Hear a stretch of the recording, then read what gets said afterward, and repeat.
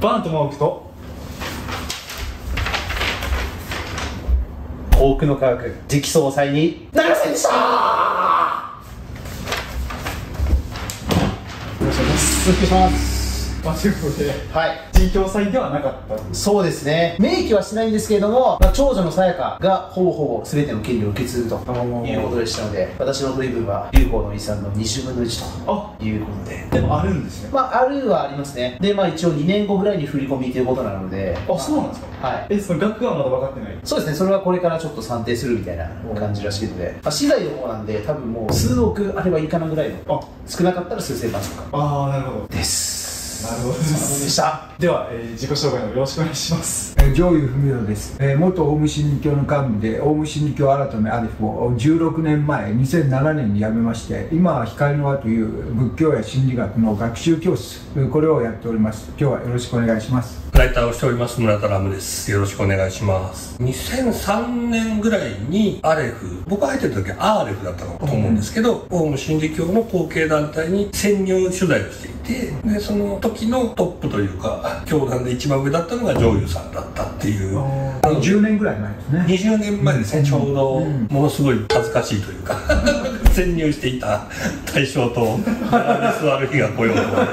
まあなんともイメージ的にはニアミス的に近いね。う んまあ、僕からはすごそうく見えてるけど、ジュンさんからはまあ大勢の中の一人だったのでっていう感じの。その後私が幽閉されるって感じになってその気配はなんか感じたかもしれませんけどねそういうような揉め事にはなったと思うんですけど、辞めた後に。はい、細川美香です。長友と一緒にオウム、アレフを脱会して光の輪を創設しています。そして今は光の輪で、えー仏教思想哲学の学習教室を共に行っています。よろしくお願いします。よろしくお願いしますしくお願いしますまあ、ということで、まあ、衣装開封されましたけど、うん女優さん的にどうですか、その衣装の内容といいますか。あのね、オウムアレフ、今日テーマなんですけど、そこでも著作権問題って出てきたんですよね。つまり、あれは、その、現金とかの資産は教団に依存して、ただ教団は家族のことを考えてくださいという内容。で、もう一つは、大川隆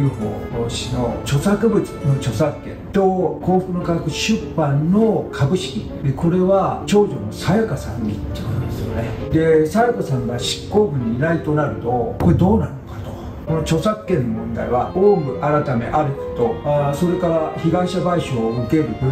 べき被害者団体の間でどちらが所有してるのかで争いになって被害者団体は自分たちが所有してるから使うなと言ってまあ一時調停になって揉め事になって本質的にはまだ解決してない問題なんですよ教祖がいなくなると教え教材が命になるじゃないですか。ですからその権限が誰に渡るのかっていうのは非常に重要なことで、まあ、同じような争いになるかもしれないしならないかもしれないし今注目してます。一応私が聞いてる情報だとこの開封の時に教団の弁護士が来たんですけども、ん。その教団の弁護士がさやかの弁護士も兼ねてるだったのでああそうなんですなのでおそらくですけどさやかと教団の間ではもう内容を見て話がついてるんじゃないのかなと。もしそうじゃなかったらお互いに別々の弁護士がつくはずなので、うんで、まあ、これは、まあ、その聞いたけど答えをはぐらかされてしまったんですが次男の正樹と三男の優太ですね。弟2人は今誰が弁護士やってるんですかっていうことを教団の弁護士に聞いたらあそれはお答えできないですっていう反応だったので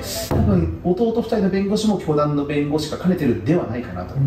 弟2人の住所を調べました、うんそしたらおそらく教団の職員寮だと思われる住所が出てきたので、多分2人はおそらく教団の中でまだ役職を持っていて、まあ、人事局付けみたいな、うんまあ職員として解放されている状態なんではないかなと。うんだからまあ、えー、さやか、まさき、りゅうたに関してはおそらく教団職員の。なので、一応そこの中では、この遺言書の内容は共有されてて、まあ、これでいいですねってことで、多分もう合意してるんではないかなと。すると長女さやかさんは著作権料かなんかを支払いを教団から受けて、はいで教団にその使用を認めるみたいになるんだろうおそらくそうだと思います。あともう一つあのひろし君を含めた外にいる2人これはあの遺留分の請求として、はい。その著作権も20分の1主張できるんだとあ、できるそうです。できた場合著作権の使用っていうのは全会一致が本当は原則ですからね、だからそのひろし君やそのもう一人の人がその飲めないと、その条件ではもっと著作権料高くしてくれとか使うなとか言うとのところで争いになるからまだ火種は残ってるけどそれ当事者だね 私が火種になるということです。そうですことか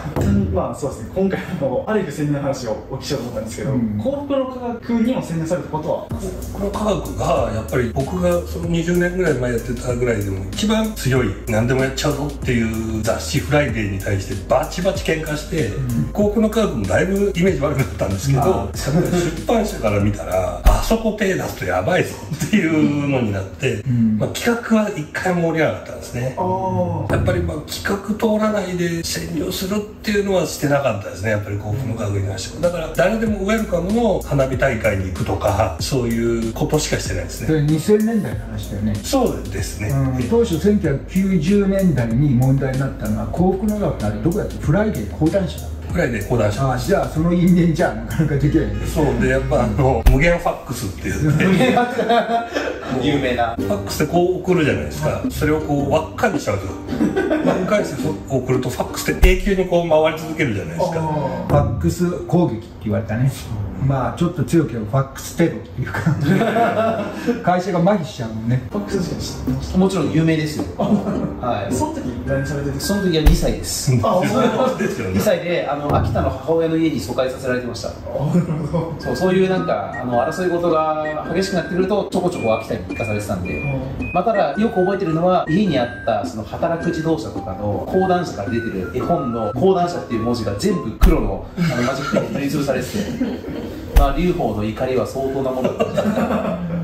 発金商品みたいな。そうそうですね。一応でもまあ勲章だねそうですよねその社名を。宗教的に言うとまあ潜入したのは宇宙人を信じるライリアンムーブメントっていう、まあ、セックス教団としてちょっと有名になったりしたところとかだから信者になったのはアーレフとライリアンムーブメントだけかもしれないですね、じゃあやっぱりあの出版社ジャーナリストから見れば潜入レポライターから見たら幸福の科学が一番怖かったとそうですね。だから出版社の OK が出なかったし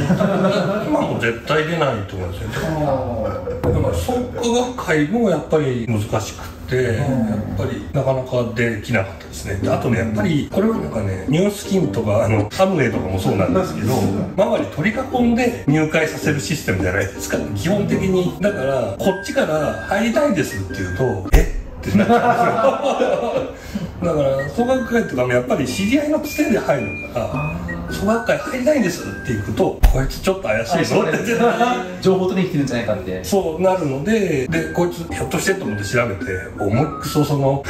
潜入やってるライターだって言われた。らお前今回も潜入だろってなっちゃうから難しくって。やっぱなかなか入れないよね。ただこの間そのいろんな潜入やってるよって言ってるのに天理教の人から DM が来て案内しますよって来てあ変化されてまし天理教は結構オープンです。そう一緒に、だからなんか潜入されますか？とか言って。潜入なのかな？それは見学だね。あでもなんか3ヶ月修行してみたいなのが天理教それは体験入信そうでね。それ潜入されますか？って、これは潜入ではないだろう と思ったけど。なんかそういうのはあの学者の人は参与観察とか言うらしいね。参加して関与して観察と。アー。レフも結局信者になったら見れるものがあるかなみたいな感じで入った、でこの人がそうやって入りたいですって言った時は OK だったんですけどこの人が潜入レポをやったと分かった後アレフは変わったと思います。この人がアレフをあの外部に対する警戒心というか それを前提にしたあの布教体制に変えたあの大物です。岩田ラムカンとかさせてしまった あまりねラムさん自体の悪口は聞いたことないよ。個人的には。だこのなんていうか雰囲気が藤倉さんより愛される。そう。藤倉さんはこれ潜入じゃなくて不法侵入っていう幸福の科学との、有罪判決そう。刑事犯罪になってて光の輪にもちょっと似たことしたい。幸福の科学のブラックリストっていうのがあって僕が職員時代にあのなんかタレントの事務所の社長をやってたんででタレントたちとかにこの人たちから DM とかが来たら絶対に返信しないですぐに報告してくださいっていうリストがあってその中に今話してた藤倉さんとあと鈴木エイトさんが入ってたんですよ。そうなんですけどあのラムさんは入ってなかったですそれは微妙に人徳ある。とかあ怒られますけどね。見ればわかるでしょこれ。恵比寿様っていうか布袋様っていさんブラックリスト入ってますえ何ですか？あの、甲府の方に。今ですか？当然入ってますよ。そうでしょうね。それはねデビルリスト。でしょデビルリスト。デビルリスト。もう悪魔リスト私もアレフにおいては悪魔リストですね。あ、そうなんですか？そうなんですだって元代表です。うん、だけど脱会してアサール・アレフを否定して、まあこういう感じでやって脱会前から分裂があってそれはちょっと一部垣間見るとこがブラさんあったかもしれませんけど、私のところにアレフの脱会相談に行くとですねもうアレフは遺留することもなくてあの人と縁がついたら終わると。なんか感染したみたいな感じで。で私と接触したアレフ脱会希望者はもう感染してるせいかその人と接触してはならないみたいな感じでいえなんかなってるみたいなんですけど。細川さんはブラックリストってことですか？いや私も入ってると思いますね。僕とラムさんだけですからね。いや僕はアレフはブラックリストだと思います だけどねもう二度と潜入できないんですよ。あ村田ラムさんが潜入したのは2003年の今から20年ぐらい前の4月ぐらいからですかね。456345ぐらい。とかそれぐらいだと思うんですけどね。その20年前えーの20年後の今年の23年3月からその潜入されたアレフの荻窪でしたっけ？西荻窪。西荻窪の東京教室というのは東京道場というのは再発防止処分ということで使用禁止になった。んですアレフが賠償から逃れ資産も報告しないということで国公安調査庁がついにまあ切れてラム潜入20年後ついにね。使用禁止っていうか。そう残念です。結構宗教タウンなんで西ああそうです。航空の科学のね一番最初の宿もそうそう。なんかワワールドメイトワールドメイトの途中心いっぱいありますよね、その中で一角やったから残念ですけど。ちなみにですけど、あの、まあ、コープのタグとかは潜入できないって話だったじゃないですか。ええ。ただライリアンとアレフのみ潜入できたって感じですよね。あそういうとか、まあ、出版社の OK が出たって感じですね、ああ、まあ、なんかそこだけ潜入が簡単だったっていうわけではない。そうですね。簡単だったってわけでもないですね、アレフはだから誰も潜入できるとは思ってなかったでしょ。です。もうピンポンで入ってるんで。つてとか全然何にも使ってないんですよだからゼロからスタートで入りたいですけどって暗い顔して言ったらあじゃあちょっと話聞くよ。って話聞いて。ちょっと悩み事があって。悩みなんかね修行やったらすぐね治っちゃうよ。修行するって言われて。ああじゃあちょっと修行しますって言われて。もうそその日から多分なんか案内してもらって。なぜ踏んでとかビデオ見てみたいな。ですごい量を見ないと入信できなかったですよ。入信っていうんですかね。その本当の会員というか。あの入信入信入会っていうん入会です、でそれ僕は期限があったんで他の人は別に期限がないからそこの差があんまりないと思うし、半年ぐらいかけてゆっくり入るんだろうけど僕は3ヶ月ぐらいで入らないと雑誌が間に合わなくなっちゃうんで猛烈に通ってたんですよね。一日何時間ぐらいその取材全段階というか取材にだからでも週にでも45日は通ってる。だから土日はずっとなんですよね、給料もらってないんですよね報酬っていうか。あまあだから原稿料なんで、6ページのやつが2回なので15万ぐらい。全然割にああれじゃないですまあ長い目で見たらあの経験だとかねその僕のその。俺は好きじゃないとできないよね。そうですねだから、あんまりそんなにお金のことは考えてなかったですね、当時は。当時細川さんはなんかどういう地位だったとかありますか？私はその時は千葉の流しの道場長だったんですね。だから東京での活動っていうのは直接的にはないんですけど月1回女優のあの説法会っていうのがありましてそれを東京でやる時には必ずお手伝いに行ってたので多分ラムさんとニアミスしてたねって会 ってたよね多分みたいな。あだから人数が多いんだけどやっぱり女優さんが説法するようなそうす人が来るのでで周りも公安だらけなんですよ。で僕とかは新顔なのはあっちも分かってるから「えっか」って捕まれてあのあ外でですか？そうそうですよね。あの名前と住所を書き出すで断ると結構怖めにガシッてやられて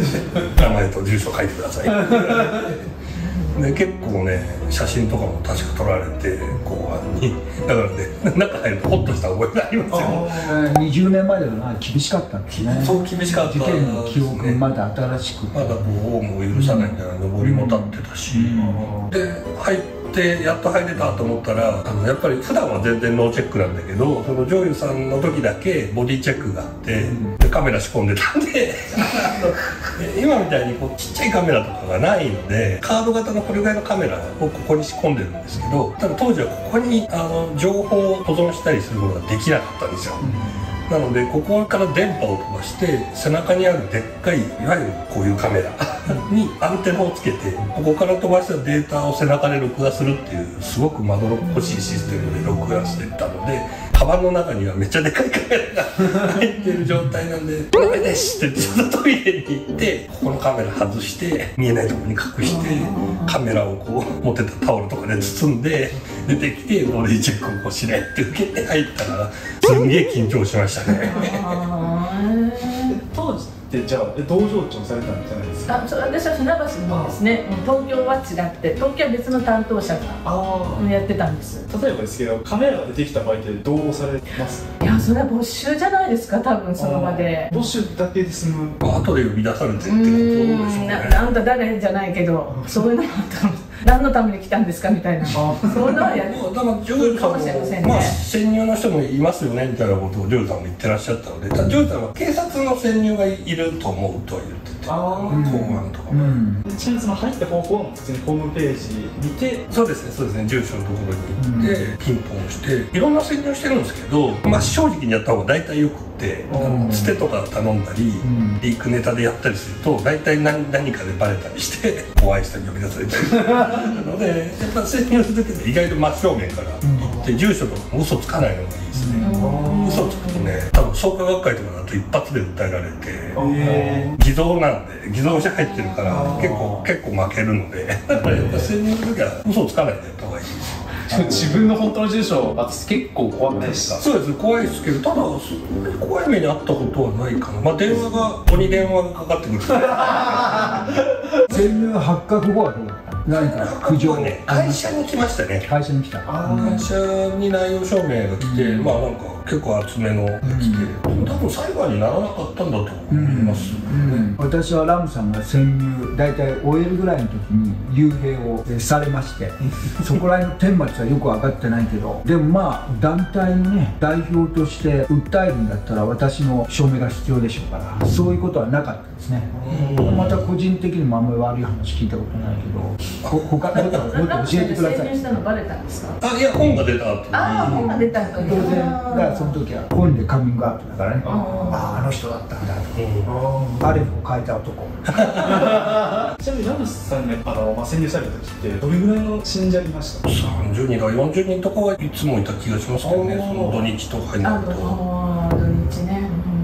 学校一クラスぐらい？そうですね。結構地下室のこのスタジオがちょっとここより広いぐらいのところを満杯で最初こうあの五体統治のねあれをやってって感じだったんで。法務信教の事件のねラムさんの潜入の前のあ8年ぐらい前1995年。その時代だったら東京管轄の信者はもっとたくさんいたと思う、事件発覚でやっぱり10分の1とかそれ以下。そんなに焼けたんです。その残存をご覧になったそそれと私新しい人多かったですね。あのテレビで報道されたのを見て新たに興味を持って入ってきた人とか、うん、えそれ事件起きた後ですよ後です後です。それなんかどうして入ろうと思ったのかわからないんですよあだから松女優さんが会ってみたいとかそういうのがなるほどですね。そんないないだろうと思うその先入観から見ると多いって感じかもしれませんけどね。ちょっと加わったぐらいだと思いますけどね。組織数がね。そうですね。だから何百人も押し寄せてとかではないですよただ意外と若い人もちらほらほらってもいるっていう、ちなみにオープン科学って潜入できそうです広瀬さんから。まあ広瀬さんはできないと思うんですうん、あ余裕だと思いますね。あそうあなんです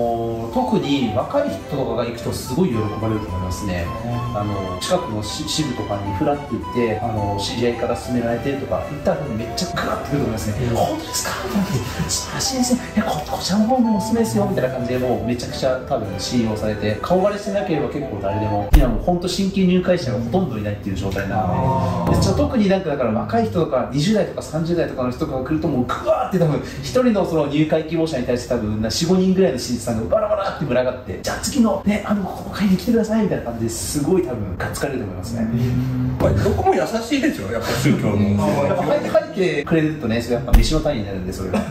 あんまり疑ってこないですしねどこも。あだからまあ入信まではしてないけどエホバの証人とかそういうところも全部行ってますけど。えみんな優しいですよ。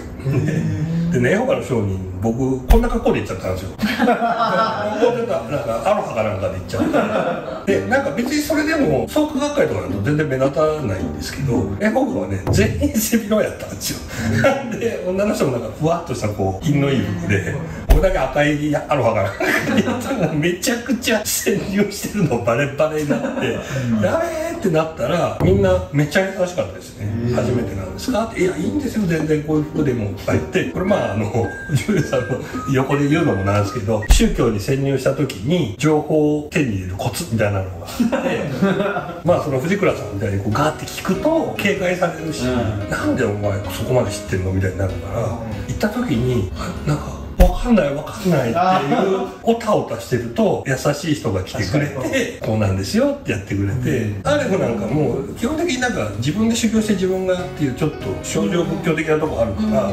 いろんな信者さんはこうあんまり他の人を構わないんだけど構う担当みたいな人が何人かいて。あれじゃないあるか見ると後でバレた時にあのいい人だったのにね だって思われてます話になったと思う多分そうだよいやいろんなところでそうです。あの人怪しかったのよね。なったのかね。ななったと思う。なったと思う。いろんなところでいい人で通った後にひどいこと書くから 人間不信にいろんな人させてると。思うんですけどでも入る人も適応するの大変でしょ？ああでも意外とそうですね。適応はできるかもしれないですね、すごいよね。修行するんだもんね。そうですね。かなり厳しい修行したんですよ。そうですね。でもただね修行は自己啓発セミナーの方がきつかったですね。しかも自己啓発セミナーの方が本気でバレそうになって、みんなの前で立たされて「お前スパイだろ」って言われて、怖いあれはどうしようかなと思ったからおたおたして泣いたら許してもらえた。分かった分かった自己啓発セミナーってやっぱね絶対で軍隊みたいなものがあって集団心ね。誰かがへこんでる人がいたら全員で支えようとかそのそういうしつけをずっとされるんでものすごいきついんですけど基本的にアレフは自分何時に行ってもいいししたいだけ自分の修行して、まあ、土日だけ、まあ、せっかくだからみんなでやりましょうぐらいのセミナーみたいになりました去ね年統一教会問題でマインドコントロールって問題があったんですマインドコントロールしてるかしてないか。でその時にマインドコントロール社会心理学的技術と定義するっていうのがあるんですけどその技術を使ってるのは自己開発セミナーです。集団心理でぐーんと追い込んでいくからオウム真理教アルフとかそれから統一教会っていうのはそういうプロ的な技術を持ってマインドコントロールそういった学術的な意味でのマインドコントロールしてることは多分ないと思います。よ来てる時点で、もう結構信じてるからマインドコントロールをする必要があんまりないんですよね。自ら来てるもんね。でいぶかしんで来てる人を無理やり信じさせるところまではあんまりやらない気がする。集団心理でなんか取り囲んでどうのこうのとかなかったでしょ？まあないですね。ねだから結構どこもまあやめときゃやめろまでは言わないけど、意外とそんな感じでしたよ、むしろそのそうですね。自己啓発セミナーはその洗脳するのが仕事だから、もう徹底的にやられるんででもにしても大変じゃないですかなんか聞いたら夜なんかここ瞑ああそうねキンキったりまあ早歩きをするんですけど結構まあ昼間に歩くと世間体が悪いのかもしれないけど夜中の2時とかにこう、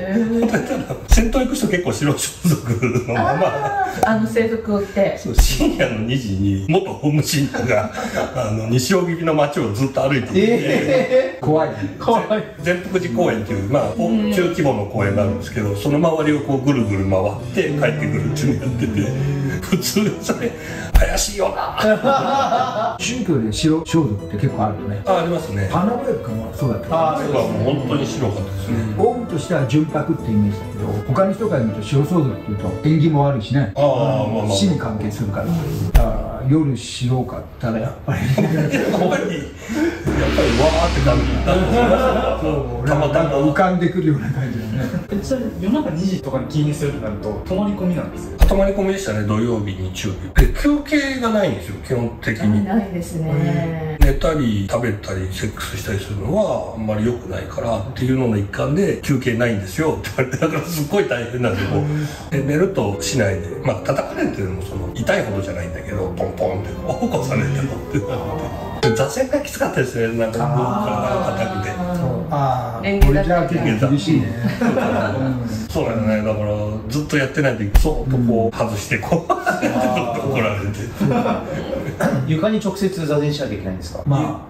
多分あそうそう。いやなかった。なかったですよね。はい。はい。畳の上にそのまんま。あオウムアレフはないね。はうん。あ、幸福の科学だとあるんですよその痛くなるじゃないですかここれの3倍ぐらいありますかね。このぐらいの専用のやつがあって結構それ座ってたら全然何時間座ってても腰痛くならないんで結構そういう配慮はちゃんとしてます、量式に組んだ。あまあ、そのなんか分厚い座布団の上とかに、まあ、座りながら UFO の DVD を見せられてずっと爆睡してます 睡眠学習ね。睡眠学習。でもあんまり寝ててもそんなに怒られないですね。その後で最後か感想文書けばいいだけなんで、僕の学ああ結構だからき厳しくないですね。それは修行の一環なんですね一応、まあ、航空の科学の、まあ、泊まりの研修とかは朝から晩までひたすら UFO の DVD 見てでそれでなんかその話してなんか気づきみたいなのとかをお互い共有し合ってみたいな。でそれをだからもう紙にあの鉛筆で感想を書いて出すで最後あの祈願っていうのでそのなんか何万円とか払ってそれでお守りもらって終了っていう感じなのですごく緩いですね。アレフはうんヨガ系の座禅っていうのはねやっぱ厳しかったですね、うん、私も若い頃何時間も組みましたから最初そのぐらい例えば、うん、そう最初は辛かったけど今はこういう。足使わないられるから。これ結構できるの珍しい。そうなんですよ。ねこうやるのはできるがそうじゃなくてこういうふうにやるのは結構難しい。米とかできないです どどうやってされてたんですか？いや頑張って もうちょっと細かった ですこれどうするんだろうだ今より40キロぐらい簡単なのでなんでまあガリガリとまでは言わないけどご飯食べさせてもらえないですもんねえっとねで一回だけその僕が言ってた時のバーラナシってしか取ったんですけどうん。うん稲見さんバーラナシ特製カレーっていうのを食べさせてもらったんですけど、まあ、今まで食べたカレーの中ではどっちで一番まずかった。まあそのうまいために作ってるわけじゃないから、うん。なんか入ってるね。なんか香辛うん、そうそうそう、うん、香辛料入ってる。のなんか香辛料だけって感じ。です体が温まる。あーなるほど味考え考えてないの。だから一日食べないんで、ん。そう土曜日の夜始めてだから日曜日の結構明るくなるまでやって食べてまずいってすげえな。ですけどでもねみんなそっから修行してましたから日曜日。航空の科学の少女はご飯あのめちゃめちゃ美味しいですよ。あそれいいことです。ね3食しっかり出るんですよ。朝昼晩って決まった時間に出て美味しいから食べちゃうから2泊3日ぐらいの研修行って帰ってくると大体3キロぐらい太ってる。あの水あの少女ってお菓子とか結構置いてあるんであのそれも普通にいっぱい食べて大丈夫だしあの行ったら逆に太るみたいな感じでしたね。あれば3食ありました？いやないです。ないですよね。基本的にはない、うんうんえとか食べないですよあの道場で。だから珍しいですよねそのバーの話が出してくれたのは特別みたいな朝までやったから、うん。みたいな。まあそうなんだろうね、うんババー。バーナ井上井上君っていう本名でバーラナシっていうバーラナシという宗教名宗教名コーリネームです。かそうそうです宗教僕を入れてくれた人というかそうでカメレオンっていうあだ名で人の心が読めるカメレオンは人の心を読めるのかって 特技が間違えてないかと思うただそれは僕すごい潜入だったのではい。全然読めてないじゃんっていうね申し訳ないことをしたでもあれだよね、えー周りの風景と同化するっていう意味ではラムさん自体がカメレオン僕がカメレオンなんか鏡だったのかもしれないね、えーなんか似た者同士だったそれだけなのにこの街の空に歩みつませこんな時代のそばに I'm really trusting you 代わりもいなくて I keep you make my way 隣で